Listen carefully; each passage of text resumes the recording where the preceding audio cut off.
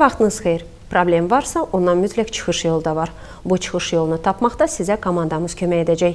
Amma bunun üçün siz probleminiz haqqında məlumatı yazılı şəkildə Nərimanov rayonu Əhməd Rəcəbli küçəsi 2-21 ünvanına göndərin. Məktubda adınız, soyadınız və əlaqə telefonunu göstərməyi unutmayın. Hələlik isə verilişimizə müraciətlərlə bağlı hazırladığımız süjetlərin anonslarını təqdim edirik. Vətəndaşın sığorta ilə bağlı problemi həllini tapacaqmı? Paytaxtda sökülən qanunsuz tikililər. Ölkəmizdə yeni tətbiq olunmağa başlayan mediasiyadan danışacağıq. Verilişimizdə Vətən müharibəsində itkin düşmüş Təbriz Cəfərovun ailəsi haqqında süjet təqdim etmişdik. Verilişimiz efirə getdikdən sonra Bərdə rayon icra hakimiyyətindən bizə məlumat verdilər ki, artıq o ailəyə baş çəkilib, ərzaq yardımı edilib. Qurum söz verdi ki, bundan sonra da ailə onların diqqətindən kənarda qalmayacaq. Bugün Bakı şəhər icra hakimiyyəti strukturları tərəfindən beynəlxalq avtovağzal yaxınlığındakı ərazidə qanunsuz zəbt edilən torpaq sahələrinin hasarlarının, həmçinin buradakı tikililərin sökülməsi işləri həyata keçirilib. 1,5 hektara yaxın ərazinin təmizlənməsi prosesində əməkdaşımız da iştirak edib. Bakı şəhər icra hakimiyyəti tərəfindən paytaxtda qanunsuz tikili və hasarların söküntüsü işləri aparılır. Bu işlər çərçivəsində aparılan araşdırmalar zamanı Binəqədi rayonunda Bakı Beynəlxalq Avtovağzal kompleksinə yaxın ərazidə Bakı şəhər yaşıllaşdırma təsərrüfatı birliyinin balansında olan torpaq sahəsinin işbazlar və müxtəlif vətəndaşlar tərəfindən qanunsuz olaraq zəbt edilərək hasarlanması, burada müxtəlif təyinatlı tikililərin inşa edilməsi faktı aşkarlanıb. Təşkil edilmiş komissiya tərəfindən tikilən müxtəlif təyinatlı tikili və hasarlanmış sahələrin sənədləri məsələləri araşdırılıb və onların sökülməsi ilə bağlı qərar verilib. Dünən və bu gün də belə tədbirlərin biri də Binəqədi rayon ərazisində Matadrom deyilən ərazidə e, həyata keçirilir və bu ərazi e, Bakı şəhər icra hakimiyyətinin yaşıllaşdırma təsərrüfat birliyinin balansında olan ərazidir. Aparılan monitorinq zamanı aşkar olunmuş bu qanunsuzluqların qarşısının alınması ilə bağlı bu gün Bakı şəhər icra hakimiyyəti və onun strukturları tərəfindən bu ərazidə e, tikinti işlərinin qarşısının alınması, qanunsuz tikintilər işlərinin e, sökülməsi və ərazilərin təmizlənməsi işləri həyata keçirilir. Bu iki gün ərzində demək olar ki, bu ərazidə 1,5 hektar ərazidə qanunsuz hasarlanma aparılan tikinti işlərinin qarşısı alınaraq sökülməsi təmin edilmişdir. Bakı şəhər icra hakimiyyətinin strukturlarının texnika və işçi qüvvəsi tərəfindən 2 gün ərzində bu ərazidə zəbt edilən 15 sahənin hasarları və 3 qanunsuz tikili sökülərək qanunsuzluqlara yol verən vətəndaşlara xəbərdarlıq edilib. Qeyd edək ki, paytaxt meriyası tərəfindən şəhərin rayonlarında ayrı-ayrı işbazlar vətəndaşlar tərəfindən müxtəlif ərazilərin qeyri-qanuni olaraq zəbt olunmaqla burada inşa olunmuş müxtəlif təyinatlı tikili və obyektlərin sökülməsi, zəbt olunmuş torpaq sahələrinin, yaşıllıqların hasarlarının sökülərək ərazilərin təmizlənməsi ilə ilə bağlı işlər davam etdirilir. Riskli ödənişləri aradan qaldırmaq tələbi ilə bir çox banklarda həyat sığortası tətbiq edilməkdədir. Amma təəssüf ki, vətəndaşlar bu sığortanı imzaladıqda belə xoşa gəlməz faktlar yaşanır. İndi təqdim edəcəyimiz süjeti diqqətlə izləsəniz, özünüzü bu kimi xoşa gəlməz hallardan qorumuş olarsınız. Verilişimizə müraciət edənlərdən biri də Ələsgərov Murad Rəhimoğludur. Onun şikayəti sığorta şirkətlərindən biri tərəfindən aldadılması ilə bağlı idi. Şikayət əsasında sujeti hazırlayarkən məlum oldu ki, artıq vətəndaş adını çəkmədiyimiz sığorta şirkətini məhkəməyə verib və proses davam edir.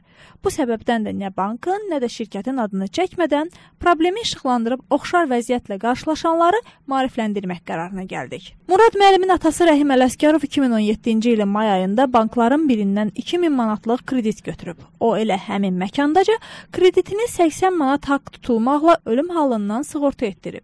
9 ödənişdən sonra, yəni 2018-ci ilin fevral ayında Rəhim Ələsgərov vəfat edib. Bu hadisədən 2 il sonra isə oğluna bankdan ödəniş etməli olduğu barədə məlumat daxil olub. Biz e, bankı e, atamın ölümündən təxminən 10-12 gün sonra rəsmi məlumatlandırmağımıza baxmayaraq bank bu məsələyə xitam verməmişdir. E, əksinə bir ay yarımdan sonra bizə rəsmi cavab göndərib ki, e, mən xitam vermirəm, e, mən ha vaxtsa qanunla bu işi sizi ilə həll eləyəcəm. Yəni qısası bu işi saxlayıb e, havada. Sığorta qanunlarına görə aktuar hesablama cədvəlinə uyğun olaraq e, faiz dərəcəsi müəyyən olunur. Faiz dərəcəsi də həmin sığorta şirkəti maksimum 4% hesaba götürüb. 2000 manatın da faizi 4 faizdir. E, 2000 manatın 4 faizi də 80 manatdır. E, amma sığortaçı e, iddia edir ki, şəhadətnamədə 2000-in yerinə 207 yazılıb. Ona görə də biz e, ödənişi eləsək belə 207 manatını ödəyəcəyik. E, mən sığortaçıya iradımı bildirdim ki, 80 manatın müqabilində 207 manat sığortanı heç kəs eləməz. Amma o sığortaçı mənə e, deyir ki, sənin atom belə istəyib. Ümid edirik ki, aparılan məhkəmə prosesi zamanı əsl həqiqət üzə çıxacaq. Ortaya çıxmış ümumi suallarla bağlı sığorta eksperti İlkin İbrahimova müraciət etdik. Sözü gedən sığorta növü üzrə faiz dərəcəsinin necə hesablandığını ekspert izah etdi. Həyat sığortaları ilə bağlı qeyd etmək istəyərdim ki, e, sığorta haqqları vətəndaşın sağlamlıq e, sağlamlığınla bağlı, onun yaşı ilə bağlı e, və əlavə olaraq da e, qeyd etmək istəyirəm, xəstəliyi ilə bağlı, yəni daha çox burada e, sığorta e, haqqı məbləğlərinin artıb azalması riskləri vardır. E, hər həm də ki, e, könüllü sığortalarla bağlı və kredit sığorta, yəni həyat sığortaları belə deməksə, bu məsələlərdə e, daha həssasdır. Lakin qeyd etmək istəyərdim ki, e, sığorta haqqı sığorta kompensasiyasının yəni gələcəkdə veriləcək sığorta məbləğinin e, 8-10 faizindən e, çox məbləğdə e, keçə bilməz. E, ona görə ki, bu qaydalar var. Sığorta qaydalarında da bu məbləğ e, daha yuxarı qeyd olunmamışdır. İlkin İbrahimov vətəndaşlara belə müqavilələr imzalanan zaman diqqətli olmağı məsləhət görür. İki növ həyat sığortası var. Biri könüllü həyat sığortası, bir də icbari həyat sığortası. İcbari həyat sığortasında müqavilələr bildiyimiz kimi standart olur, hansı ki e, e, işə götürən e, işə götürən tərəfindən sığorta haqqı ödənir. Burada yəni standart məbləğlərdir. İşə götürən olduğuna görə ə, ödəndiyinə görə, ona görə burada heç bir problem olmur. Əsas problemlər könüllü sığortalarda olur. Yəni könüllü sığorta ə, nədir? Könüllü sığorta həyat sığortalarında belədir ki, bu məbləğlər ə, görünür, razılaşdırılır. Razılaşdırıldıqdan sonra vətəndaşa müqavilə təqdim olunur. Ekspert bildirir ki, artıq belə mübahisəli situasiyalarda mediasiya xidmətlərinə müraciət etmək olar. Mediasiya nədir? Bu suala da İlkin İbrahimovun cavabını təqdim edirik. Avropada, Amerikada e, bu üsullar çoxdandır tətbiq olunur. E, mübahisələrin alternativ həlli üsullarından biri mediasiyadır. E, mediasiya da ölkəmizdə tətbiq edilməkdədir, lakin bu hələlik könüllü tətbiq edilir.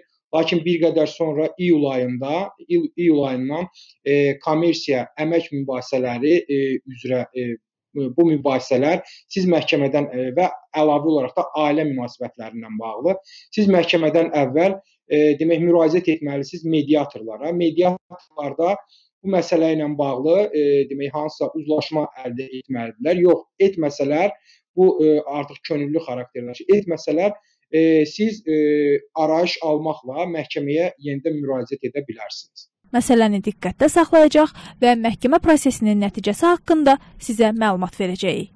Azərbaycanda mediasiya haqqında qanunun qəbul edilməsi nəticəsində əmək, iqtisadi və ailə daxili mübahisələri məhkəmələrdən əvvəl mediatorlar həll edəcək. Ümumiyyətlə mediasiya nədir və onun rolu nədən ibarətdir? Verilişimizin qonağı sığorta eksperti, mediator İlkin İbrahimovla məhz bu haqda danışacağıq. Xoş gördük İlkin bəy. Ümumiyyətlə maraqlıdır. Azərbaycan qanunvericiliyindən nədən mediasiya haqqında qanun qəbul etmək zərurəti yarandı? Demək, məhkəmələrlə bağlı ümumiyyətcə məhkəmələrin alternativ həlli üsulları var ki, hansı ki, mübahisələrin alternativ üsulları var ki, e, bu bu mənada məhkəmələrə alternativ hansısa qurumlar, e, strukturlar olmalıdır ki, e, məhkəmələrin işinin yüngülləşdirilməsi ilə bağlı bu məsələlərdə ora həm köməklik etsinlər, həm hakimlərə köməklik etsinlər, həm də ümumiyyətcə vətəndaşların məhkəmələrdə növbəliliyini daha da azaltsınlar. Elə bu məqsəddən irəli gələrək ölkəmizdə mediasiya haqqında qanun qanun e, demək qüvvəyə mindi e, 2019-cu ilin aprel ayında e, və tətbiq edilmə mexanizmi 2020-ci ilin əvvəllərindən e, müəyyən olunmuşdu. Pandemiya ilə bağlı e, demək burada e, mediatorların e, demək hazırlanması və onlara e, lisenziya verilməsi, yəni mediasiya şurasının üzvü olunması e, bu e, bir qədər çəkdi və ona görə də e, bu prosesin e, yəni məcburi olma mexanizmi hal-hazırda könüllü e, media mediasiya hazırda qüvvədədir.